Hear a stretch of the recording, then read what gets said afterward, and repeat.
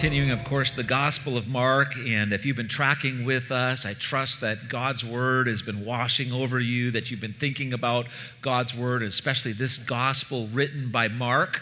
Uh, Mark was uh, not one of the disciples of Jesus. Uh, rather, he probably would have been a little bit younger at that stage. Uh, most likely, Jesus had visited his house with the disciples. G- uh, Mark was related to, uh, to Barnabas. Um, he was discipled by Peter, the apostle, and then writes this account that after the death and the resurrection of Christ, he writes this account really with the purpose of driving home who Jesus is and what he did. So take out your weekly guide. This will help you to follow along with today's message. I'll actually be teaching from these notes, and then you're also going to need a, a Bible on your lap today. We begin the seventh chapter of the Gospel of Mark today. If you didn't bring a Bible, um, there's a chair Bible under every other chair, page 842 will turn you to Mark 7. Or if you have a mobile device, just go to viachurch.org slash guide. These notes, all of the scriptures will come up there for you, and uh, that's a great way to be able to engage. And also viachurch.org uh, slash give is a great way to be able to give at any time throughout the week to Via Church. So we're going to be looking at the first 23 verses of uh, that's the seventh chapter of, uh, of Mark. And uh, this is an incredible interaction um, with Pharisees and scribes um, from that were uh, Jewish leaders, and they have an interaction with Jesus. And uh, we're going to read about that today and some of Jesus' teaching in this and apply it to our lives today. How many of you believe God's word still applies to our lives today? And God has spoken, and this is the authoritative rule of conduct and faith, but God is still speaking today through the power of his spirit in accordance with his word, and we're going to let God speak to us. So let's stand for the reading of God's word as you follow along. We usually use uh, ESV, English Standard Version, here at Via Church. Now, when the Pharisees gathered to him with some of the scribes who had come from Jerusalem, they saw that some of his disciples ate with hands that were defiled, that is, unwashed. For the Pharisees and all the Jews do not eat unless they wash their hands properly, holding to the traditions of the elders. And when they come from the marketplace, they do not eat unless they wash. And there are many other traditions that they observe, such as the washing of cups and pots and copper vessels and dining couches. And the Pharisees and the scribes asked him, Why do your disciples not walk according to the tradition of the elders, but eat with defiled hands? And he said to them, Well did Isaiah prophesy, prophesy of you hypocrites, as it is written, The people honors me with their lips but their heart is far from me. In vain do they worship me, teaching as doctrines the commandments of men. You leave the commandment of God and hold to the tradition of men. And he said to them, You have a fine way of rejecting the commandment of God in order to establish your tradition. For Moses said, Honor your father and your mother, and whoever reviles father or mother must surely die. But you say, if a man tells his father or his mother, whatever you have gained from me is Corban, that is given to God, then you no longer permit him to do anything for his father or mother, thus making void the word of God by your tradition that you have handed down. And many such things you do. And he called the people to him again and said to them, Hear me, all of you, and understand there is nothing outside a person that is going into him can defile him. But the things that come out of a person are what defile him. And when he had entered the house and left the people, his disciples asked him about the parable. And he said to them, Then are you also without understanding? Do you not see that whatever goes into a person from outside cannot defile him, since it enters not his heart, but his stomach and is expelled? Thus he declared all foods clean. And he said, What comes out of a person is what defiles him. For from within, out of the heart of man, come evil thoughts, sexual immorality, theft, murder, adultery, coveting, wickedness, deceit, sensuality, envy, slander, pride foolishness. All these evil things come from within, and they defile a person. May God bless the reading of his word. Father, we thank you that your word is profitable. May your word today profit our souls and cause us to understand your character, the redemptive narrative of the gospel, the work of Christ, the ways of your spirit, and what you've called your church to do. Speak to us now, God. Cause us, Lord to worship you in word and in deed. God, examine our hearts today. May the meditations of our hearts, the words of our mouths be pleasing in your sight and in your hearing, O God. As we humble ourselves before your authoritative word. And everyone said, Amen. Amen. God bless you. You can be seated. I want you to do something uh, as we begin. I'm going to make you talk to your neighbor, and uh, I'm not going to make you say, You look fantastic, because sometimes you guys whine to me about that. So I won't make you compliment your neighbor at all today. But I'm going to, I'm going to, uh, going to ask you to just, uh, with people around you a little bit, I want you to just uh, uh, say what words come to your mind when I say the word legalism legalism. What words come to your mind when I say the word legalism? So go ahead, make a little noise in here. Just talk to the people next to you a little bit. You might have to turn around or move a little bit.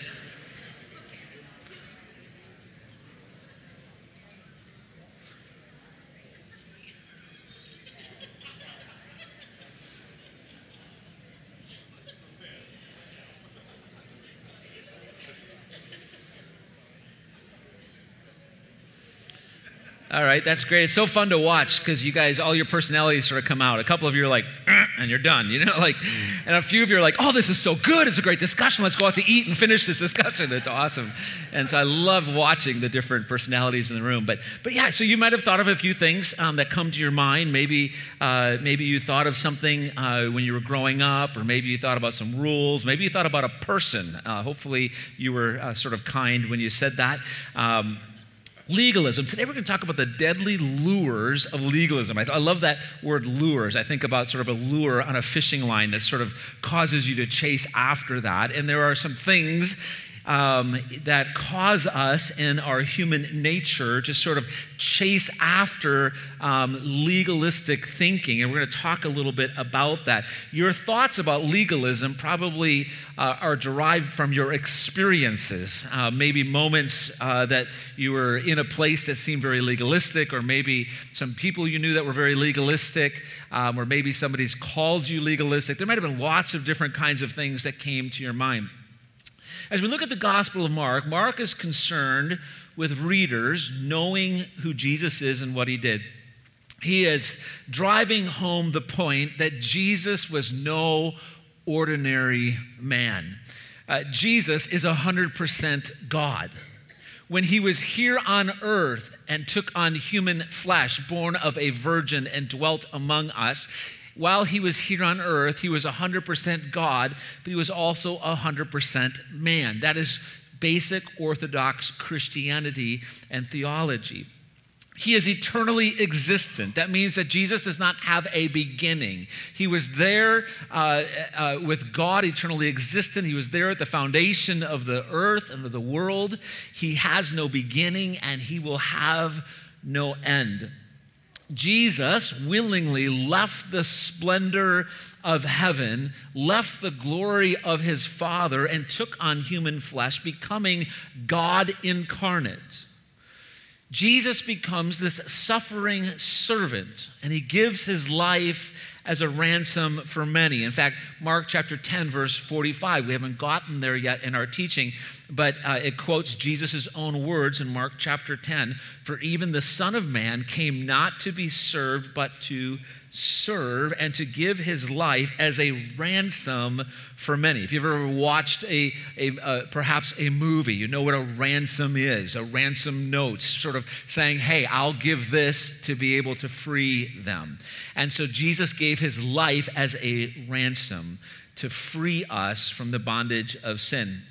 Jesus, a Jewish rabbi, did not fit the mold of the Jewish leaders. That would be the Pharisees that they're talking about today, or the scribes. Also, the Sadducees are mentioned in other places in the gospel. If you are familiar with the four gospel accounts of the life of Jesus, you've sort of learned to cringe at these religious people. Anytime we say Pharisees, Sadducees, scribes, we all go, ooh, ooh, all right? And so uh, we almost we almost like cheer, boo, like we don't, boo, we don't like the Pharisees, you know, Jesus, yay! But I'll just tell you, during Jesus' time, the Pharisees, the Sadducees, and the scribes were not scorned as legalists. They were not considered to be bad guys, they were looked up to. They were model citizens. They were people of piety and religion. They were well educated. Oftentimes, they tended to be on the wealthy side.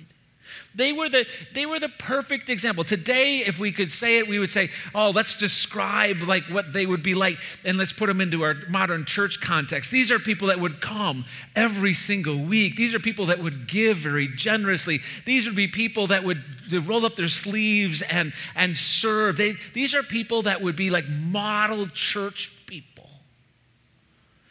And so this is this is the way these folks are viewed as Jesus comes on the scene. So, you know, we have sort of this history of four gospels. Every time we hear Pharisees, Sadducees, scribes, it has this connotation and we we sort of boo at them. But this is a really incredible moment because these this would be like this would be like Jesus saying these things to the people that we would say model perfectly for us what it means to follow God. And yet he's having these interactions. Uh, according to Paul, though, uh, in Romans chapter 10, later on, he talks about those Jewish leaders. In Romans 10, uh, verses 2 through 4, it says this They have a zeal for God, but not according to knowledge. For being ignorant of righteousness, the righteousness of God, and seeking to establish their own, they did not submit to God's righteousness. For Christ is the end of the law for righteousness to everyone who believes. What Paul is saying here is saying, um, they didn't think about the righteousness and purity of God. Instead, they wanted to establish their own righteousness and purity. They didn't submit to God's holiness. Instead, they established their own laws of holiness. They were more concerned with the exact practices of the law, both God's and the ones that they had created than they were about the spirit or the heart of the law. The word legalist even goes outside of Christianity. So there are times in, in government or in law that legalists are the ones that are going to the finite, uh, uh, uh, the minutia of a law, but ignoring the spirit of the law. So the definition of legalism is this it's right there in your notes strict adherence to the law, especially the stressing of the letter of the law rather than its spirit. Today, we can sort of develop this passion for God and the things of God and yet never know Him, just like the Pharisees and the Sadducees. We can be deceived, we can be captured, we can be enslaved by this deadly lure of legalism. Our pride in our religious rituals our pride in church practices and in cultural traditions, our pride in good deeds, or our pride in our moral lifestyles can blind us to both our great sinfulness, but it can also blind us to the great Savior Jesus, who alone can rescue us from our sins. So, although Jesus was this Jewish rabbi, he was challenging and condemning the status quo, and the religious leaders weren't too happy. Jesus exposes the religious leaders' pride, he exposes their impure motives, he exposes their incongruent behavior, he exposes their, their bondage and their corrupt hearts. His words to them are always very harsh. So today's text sort of gives us this very clear picture of the ugliness of legalism. First of all, they're guilty of false worship. Some of the Pharisees and scribes in verse 1, they come, these teachers of the law come to Jesus. His popularity is growing. You can see that in verse 1.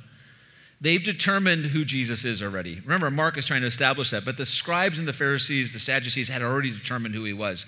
They had decided that he was blasphemous, and they are determined to take him down. These guys are proficient in reciting prayers. These guys can recite the Torah or the law or some of the Old Testament, as we would call it. They're great at debate. But unfortunately, like all religious legalists, they're honoring God with their lips, which results in false worship.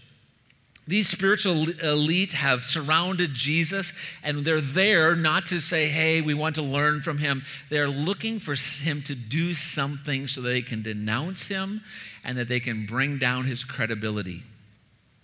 It's a great lesson for us here. And a lesson for us is not to compare ourselves with others. I think we're all, if we really like to be honest, are really good at comparing ourselves to others. I mean, we're good at it. I mean, I, sometimes I'm feeling bad about myself. I've watched Hoarders on television, and I just feel so much better about anything messy in my life. I'm like, well, I'm not as bad as that. I feel very healthy today. I watched Hoarders, you know? The disciples give them the exact opportunity that they're looking for. Remember, they're trying to figure something out about him and denounce him and point out his wrong. They eat with defiled or ceremonially unclean, unwashed hands. That ceremonially unclean means the opposite of devoted to God. So look at verse 2. They saw that some of his disciples ate with hands that were defiled, that is, unwashed. This has nothing to do with hygiene.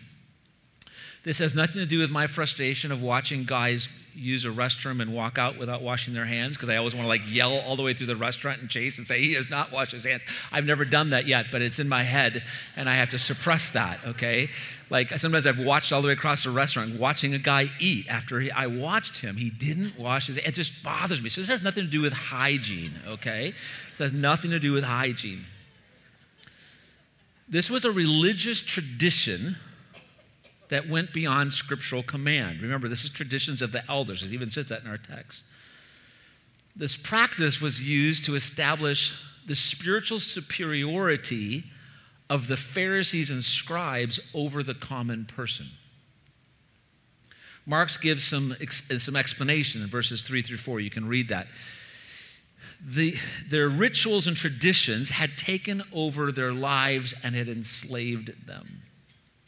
This religious washing had good intent. How many of you know lots of traditions or things that we feel strongly about have good intent? The good intention was to remind Jews that they were unclean before God. But they had sort of changed it. They had begun to sort of twist it. And the main, what, main thing was that they were off base on the source of their impurity. They felt that they would wash their hands in case they had touched a Gentile, a non Jew.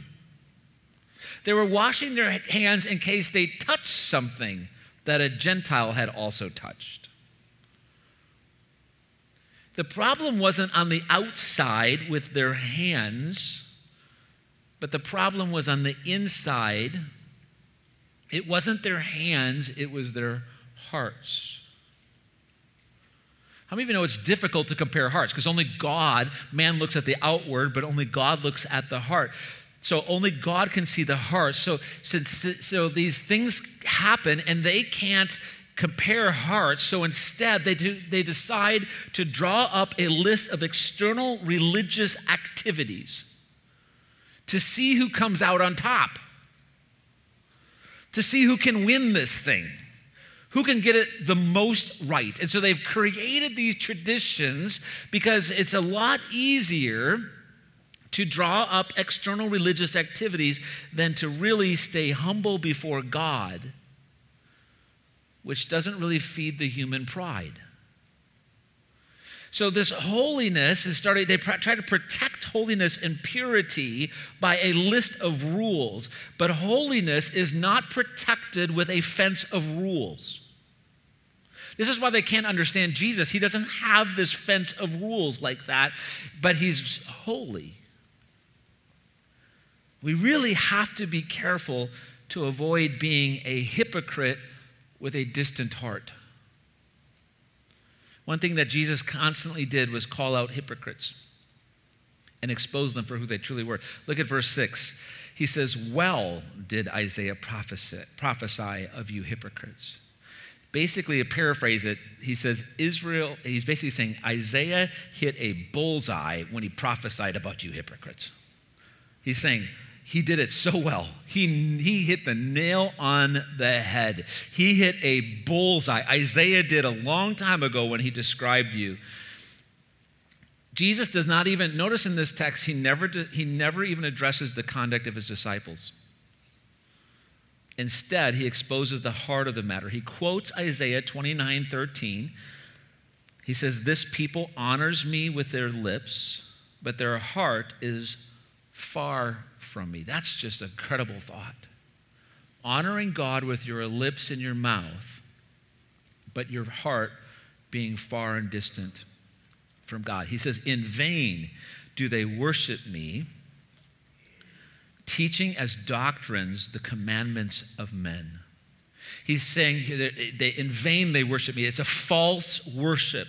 It's a worship, but it's with their lips, it's not with their heart. Their heart's far from me. The heart really isn't following God, but with their lips they're doing this. And then they begin to teach the, the, the commandments of men, traditions as doctrine. They're saying this is right up there with what God said, is what we have said and what we have established in our tradition. Today, making lists of what we think must happen and must not happen in worship is sort of common to us. So I'm going to sort of bring this home. I'm going to bring it to sort of where we live today. Sometimes our personal preferences in a music worship style, or our preferences in dress, or our preferences in sermon delivery style, our preferences in how a church addresses moral issues can become sacred checklists for us. I wrestle with this. I wrestle with this. Our teaching team wrestles with it. Uh, I'll just sort of bring something down that's just happening to us right here in our church to create a little tension for us, okay? So uh, I shared with you a couple of weeks ago, we're very excited that a while back, uh, the company NEC donated an $18,000 projector for us for free. How many of you said, that's a cool thing? We could use that. And so we, uh, we began to sort of move forward, trying not to spend much money to get this, to get this working. And uh, we had had a temporary setup since Christmas last year. We had a scrim across the back. We put up some banners. Um, we had a cross that we hung there. And as this all sort of came together in the week that it was coming down, the teaching team came in and we sort of were looking at it and going, where will the cross go? And we did. We sat right where you were. We were standing there and we are saying what, you know, that, it doesn't fit, proportionally it doesn't fit. We need, we want to have a cross, but what are we going to do until we can get the right cross? And so this, I'll tell you, I grew up in a, I grew up in a United Methodist church, and uh, there were lots of artifacts in worship around. There were, there were stained glass windows that I still, I can still, I could still actually probably draw them and tell you where some of the stories of the Bible were in the stained glass. And I used to love as a kid to be able to sit and look at those things. And so we were here and we were talking about the cross, which uh, we are having a cross made up. A prototype has been made, and someone in our congregation is going to help actually craft a cross. And, and we talked about where it was going to go. So we said we can do this, but we don't have we don't have it figured out right now. What are we going to do? So, what do we do with the cross that we had hanging from fishing line? And so we were like, well, you know, we can't hang it right in front of the screen. That'll look a little weird. And if we put the cross off center, will that communicate something that we feel about the cross that we don't feel about the cross? Um, you know, do we just sort of lean it up against the wall in the corner? That doesn't look like it's really good. How many of you know that that would be a hard conversation? So, we're, we're talking about it because it's important to us okay? And we and we were saying we really want this cross. We, we we don't have an auditorium. We have an auditorium that has basketball hoops. And so we don't we don't have a lot of religious artifacts around. And and after the cross was down and we knew we wanted to put one up we said this you could be anywhere. You don't know that you're at a church and we want the cross up. And so we're working at it. And so then we had a discussion should we announce that we are making a cross so that people don't think that we're against the cross Because sometimes in churches, conspiracy theories really fly around. They travel sometimes faster than good reports. And so he said, Should we make an announcement and draw attention to the fact that we know that the cross is down, but there's a cross coming? Should we make an announcement and, and maybe let people know? And then, and then we, we were, so we said, Well, we didn't know if we should. And so we sort of made an announcement to one service, we didn't make an announcement to another, and people are asking questions. And our standard answer is, We're making a cross, we're putting a cross up, and we're excited about it, and, uh, and, and we're we're, we're, working at it. I actually have pictures on my phone that were texted to me of sort of the prototype, and they're trying to make the cross. We, we want it in a prominent place, and we want it to, to fit.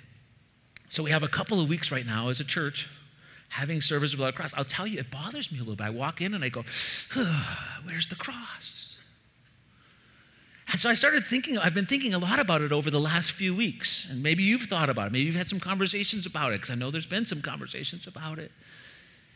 And so as we were as I was thinking about it, I was thinking about, you know, this. There's the scripture, the commands of God, and there's traditions of men. And where did the cross come from in, in our history, in the Christian history? Is there a Bible verse that says you must worship with a cross? There isn't a Bible verse that you must worship with a cross. And if you study the history of the cross, the first couple of hundred years, the church did not identify with the cross. They didn't worship with a cross. There was some rejection in the early church for, for a couple hundred years as the church started. They were saying that's a horrible picture of an execution item. Today, it would be like putting an electrical chair. It's an ugly picture. It was a horrible picture. That's not what they wanted to remember of their Lord who is risen. And so it was a couple hundred, then you start, you start reading the history of it all, and it was a couple of hundred years. It's really not fully established until the 300s that they started to identify the cross as a Christian symbol, and it became very sacred. Today, the cross means a lot to us. It shows one of the greatest acts of love ever given that God would so love the world that he'd send his only begotten Son to die that he suffered there for us. It's become very important to us. It's important to me. And so I've been, as I'm preparing this whole week and laying out a thing about legalism and thinking about, you know, traditions that we hold on to that aren't in Scripture, taking something above Scripture, I had to really wrestle with this. I love the cross, and a cross is coming. Okay? But we have to look at some of the things that tie our hearts, don't we? We have to look at them and we have to say, I have, I have an affinity for that. I have a love for that. I care for that. Even though Scripture doesn't command that, it becomes very precious and sacred to us. So before we sort of scorn the Pharisees and boo them out of the story, they had things that were very precious to them, things that were very sacred to them, traditions of elders over hundreds and hundreds and hundreds of years sometimes taking what had been commanded, but then twisting it or changing it, and sometimes changing it for their own benefit. So I just had to bring something that sort of made us all feel a little uncomfortable. The, the, the worry about this is that I'd have this conversation, you'd walk away saying, He doesn't think we need a cross. We need a cross. We love a cross. But it's a tension for us, isn't it? An artifact, a symbol in worship that's very precious to us today that there's no scriptural mandate about and wasn't a practice of the early church. And so sometimes when we sort of make these lists of all of the things that have to happen, our preferences, sometimes if all of the right boxes are checked, we're good. But if the lists, uh, lists are very easy for us to check off, it's easier for us to check off a list than it is to examine our hearts. Our hearts can be very far from God while all of the boxes are checked off. So we sort of look at, at, at some of those things. When we think about those traditions, we think about things that are very sacred to us. Let's think a little bit about, let's go back to the cross illustration for a moment. I hate to keep drawing you back to that, but go back to the cross illustration for a moment there, there are some very heated and passionate conversations. We've had them on our teaching team. how can we worship for a few weeks out the cross? There's been some very passionate conversations in our, in our, in our congregation, and some of you have been in those. And then I sort of think about what's happening in this story. Jesus has just fed 15 to 20,000 people. He's healing the sick. I mean, he is teaching just powerfully about what the kingdom of God is like. All of this incredible things are happening, and yet the, the Pharisees and the scribes' passion, their conversation, what they choose to talk about at that moment was a tradition, and their passion flowed to a tradition more than the work of Jesus. And when I think about the passion that some of us have had, and me included, about the cross in our place of worship, there's, I've had a little bit more passion about this conversation than sometimes I've had about the 18,000 orphans in Arizona or the homeless in Mesa or Albanian gypsies or refugees by the hundreds of thousands seeking refuge in Europe. It's easy for us, before we look down our nose at the Pharisees, it's easy for us to have more passion about our traditions than the very heart of God and compassion for people. Our hearts can be far from God while all of the boxes are checked off. And it causes us to really ask the question are we text driven or are we tradition driven? Look at verses 8 through 9. Jesus says, You leave the commandment of God and hold to the tradition of men. And he said to them, You have a fine way of rejecting the commandment of God in order to establish your tradition. See, when we become legalistic, we can blindly fall into spiritual disobedience. We have to make sure that we don't reject God's command and establish our own. Not all traditions are bad. Traditions really hold together a society. They become bad when we put them on the same level as Scripture or in place of Scripture. It's when we begin to say it's the Bible plus the few things that are very sacred to me. It's, the, it's Jesus plus some other things that have to be checked off in my mind to say that it's a good thing. It's that approach to Christianity that can cause us to have fall into spiritual disobedience. Adding requirements to the Bible nullifies its truth and power in your life. This is really the crux of it. Look at verse 13. Jesus said, Thus making void the word of God by your tradition that you have handed down.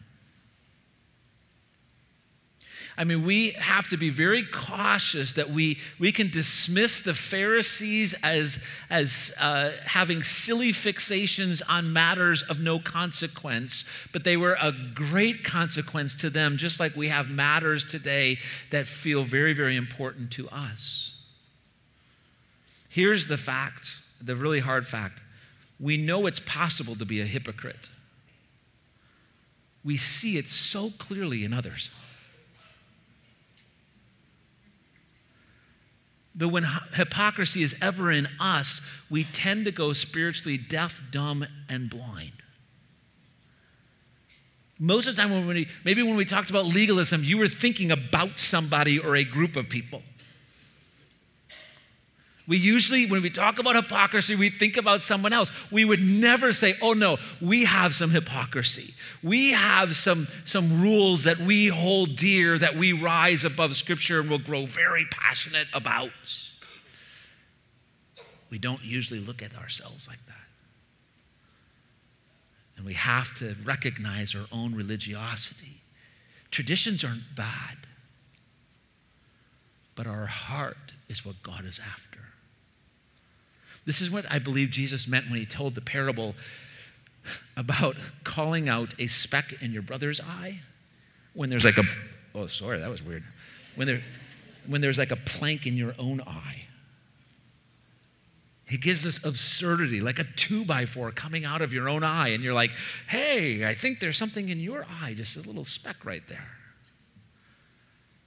And this is what Jesus is sort of talking about. We need to make sure that we don't manipulate God's word to our own advantage. These religious leaders had positioned their traditions in the place of Scripture, and they had positioned themselves in the place of God. They're standing before Jesus going, How is it that you do not follow what needs to be followed? What this really tra- tells us is that our hearts are truly idol factories. I was watching, I love, uh, there's a television show that sort of talks about like how things are made. I love this show. It's just, like this little documentary. They just how something is made. And, and one of them was, I loved it. It was those yellow peeps, right? Those little marshmallow little chicks, you know? And it took you to the peep factory, man. It is so cool to see how the peeps are coming out, man. And you just see these yellow peeps, just zillions of them. And they give the statistics of how many yellow peeps are eaten all year long. I thought it was only like Easter, but they eat them all year long. And then they've got they've got different color peeps. They've got Christmas peeps. Who knew? And they've got all these. And so they. And, but it was just watching, and it's just an amazing thing. They back up to this massive factory, and the peeps are like just coming out. I'm like, that's a lot of peeps. But our hearts have this propensity to crank out idols that we trust in. That we say, if we do these things, live this way, think this way, do these things, if these things exist where I am, then I am right with God and my righteousness is good. And we have this way of cranking out these idols. We crank out religious traditions. And we may just be as just as guilty as the Pharisees of Jesus' day and not even see it. See, legalists lack true understanding. What's really at the crux of this is these uncleaned hands, the defilement. Defilement, what Jesus is saying, has its root on the inside. Every human heart has the root of every human sin in it. This is the brokenness of our world. This is the shatteredness of our world. We, we look at some of the most gruesome, heinous sin in the world, and if we are honest before God, we have to say the root of that is in my own soul. It's entirely possible to look nice on the outside while being dead on the inside. The most, what Jesus is driving home here is that the most deadly contamination is not what I happen to touch with my hands. The most deadly contamination is what is in my heart. And in verses 14 through 20, you can sort of look at it. Jesus teaches, and then he reteaches it to his disciples because they said, We don't quite get it. One of the most critically important spiritual lessons in the whole Word of God. And his point is that corruption is not external, but internal. Look what it says There is nothing outside a person that by going into him can defile him, but the things that come out of a person are what defile him. It's not what goes in, but it's what naturally comes out. That is the source of our defilement. This is echoed later by James, the half brother of Jesus, in James chapter 1. During the early church, he wrote and he said, But each person is tempted when he is, when he is lured and enticed by his own desire. Then desire, when it has conceived, gives birth to sin, and sin, when it is fully grown, brings forth death. Even today, I don't really like to admit that the source of defilement in my life comes from here. I like to say it was the things I've been accidentally exposed to, or things that from the outside, the threats of my defilements come from this evil world all out there. It's not really from in here. That is a harder thing for all of us to say. Defilement starts at the inside, but it reveals its fruit on the outside. Verses 21 through 23 gives us a massive understanding of our sin and our brokenness straight from the mouth of Jesus. Look what it says. For from within, everyone say within, from within, out of the heart of man, come evil thoughts, sexual immorality, theft, murder, adultery, coveting, wickedness, deceit sensuality, envy, pride, foolishness. Every time there's a list like this, I'm like, stop! Stop, please stop. I don't even like saying those words. I don't want to think about those words. And Jesus says, all these evil things come from within, and they defile a person. What is Jesus saying? Jesus is saying, go ahead, wash your hands all you want. You won't fix your heart. Jesus didn't come to say, hey, I've come to give you a better way to wash your hands. I haven't come to try to teach you how to scrub up before surgery. It's not about that. And it's not about you saying, My hands are cleaner than your hands. You want to see? It is about understanding. When you start to say all of these things come from within, when we say every human sin has its root in every human heart, it's an ugly thing to look because we know some monsters in this world and that are modern time monsters, some of them now dead. And we see that and we go, no, no, no, no that's not in me. And Jesus is trying to get is get people to understand that all of that is in us. It comes out of us naturally. That is the brokenness of who we are. And it's based upon pride. You can go back to Genesis 3 and read it for yourself. It's based upon pride. It's putting ourselves in God's place. It's, it's saying, what I do is my choice. And that is in us all. And that, my friend, isn't something you can scrub away. It isn't something, I mean, I, when I hear that, I just want to just swallow some antibacteria stuff and see if it gets to the heart of things. But you can't cleanse that. And that's the exact thing that Jesus said that it is easier for a camel to go through the eye of a needle than for a man to be saved because he can't do it on his own. Only Jesus, my friend, can cleanse a heart. Our hearts are corrupt. Sin's root in, roots in our hearts will produce sin's fruit. The fruits that we naturally produce as fallen people are destructive. Read that list, and all of us have experienced the destruction of those things in our lives. These evil actions flow naturally from our sinful hearts, the source of sin. My friend, the problem in the world isn't out there somewhere. The problem in the world is inside of us. Legislation won't fix it. Going back to old church practices from 30 years ago won't fix it. The answer to the problem inside of us isn't doing more. The answer to the problem inside of us is what Christ has done. It is done. Christ's holiness never suffers contamination.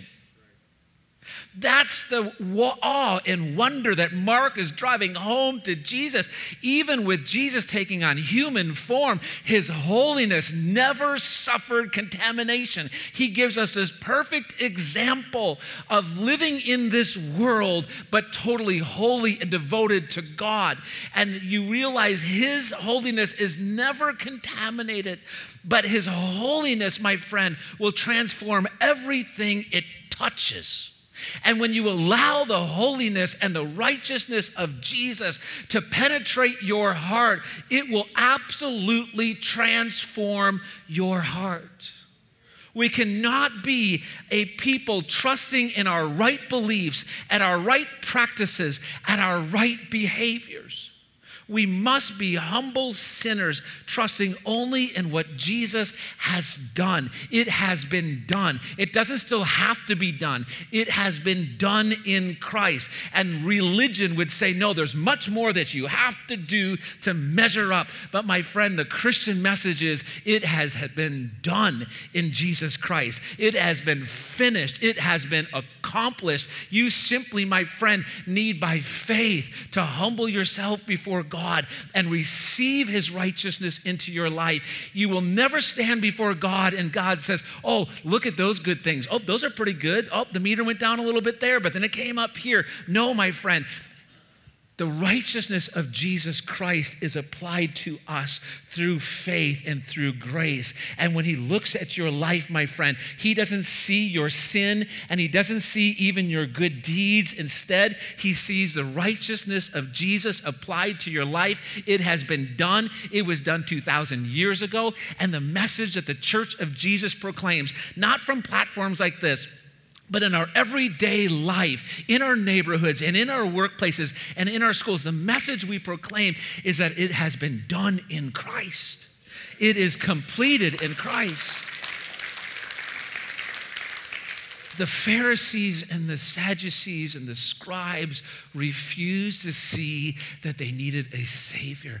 They trusted in their practices, they trusted in their own doings. But my friend, Jesus was absolutely going to the heart of it, saying, You cannot do enough to fix the defilement of your heart. My friend, we need to fully trust the work of Christ applied to our lives through faith. Would you bow your heads and close your eyes?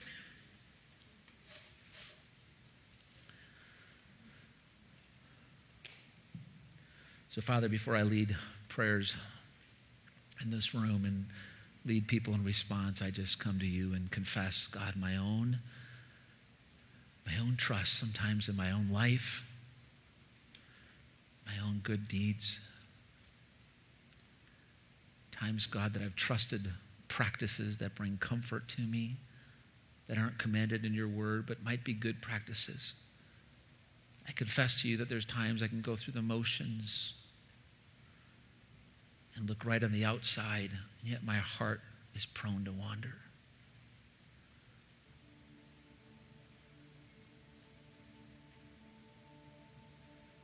And God, once again, by the truth of Mark's words, I recognize that the root of every human sin is in my heart.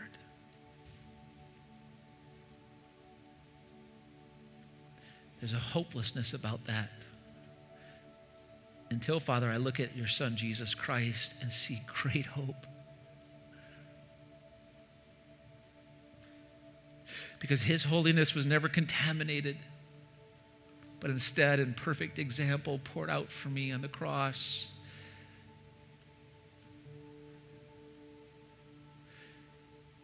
And Lord, I once again receive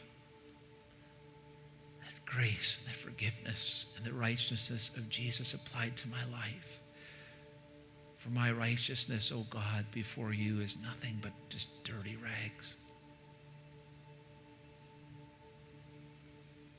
Cleanse my heart, O oh God.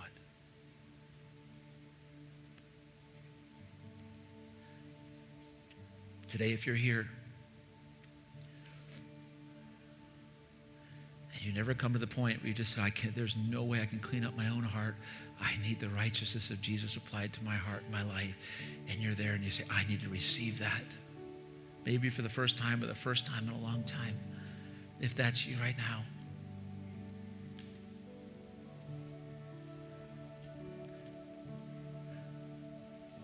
I'm going to ask you to do something I wasn't planning on doing. I'm just going to ask you right now if you're there and you say, I need to receive the righteousness of Christ I'm going to ask you to make your way from where you're sitting to just kneel up at these steps, just as a sign from God. You say, I can do my business with God right here at my chair. Yes, you can. There's sometimes a physical action that's needed to sort of signify what's happening in our hearts. And if right now you're just saying, I need to come to God, I need to receive this grace, I need to receive this righteousness of Christ, I need my heart cleansed by Jesus and what he has done, right now, just make your way and kneel up here. And there'll be some folks that'll be happy to pray with you, so you won't be alone. But just walk forward if you would. If you want to do that right now and just confess your heart to God, just make your way right now and come to these steps.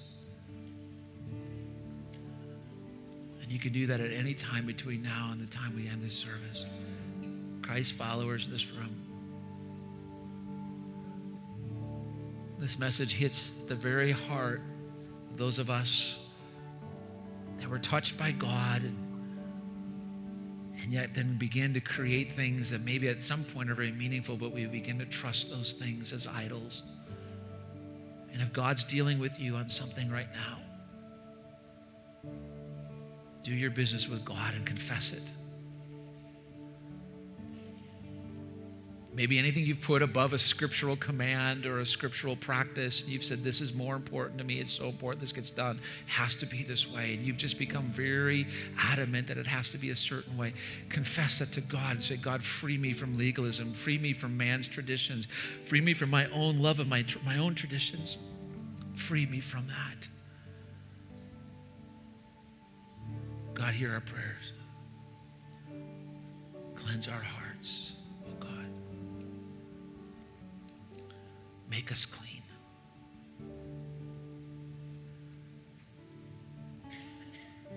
Make us clean.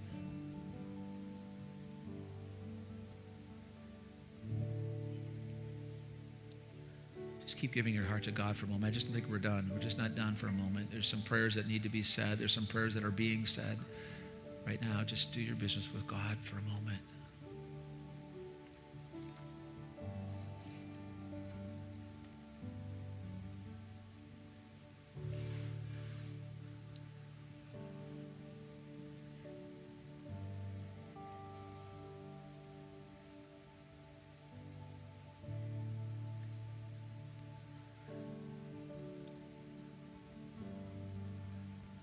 Mercy on us, O oh God.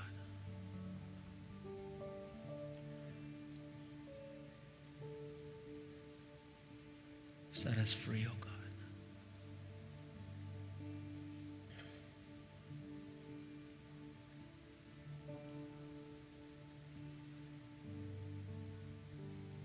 Purify our hearts, O oh God.